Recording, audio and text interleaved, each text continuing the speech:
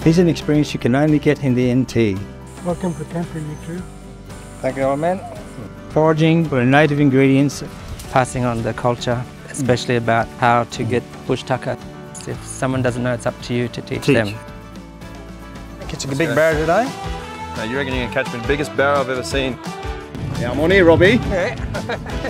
Oh, deliver! Hey! Yellow one. Look at that. That's a good fish, mate. How was this, mate? Best kitchen in Australia right here. You don't get to cook like this very often, no, Australia. Robbie's kitchen, mate. With a view like this, magnificent. Book your trip to the NT at jetstar.com.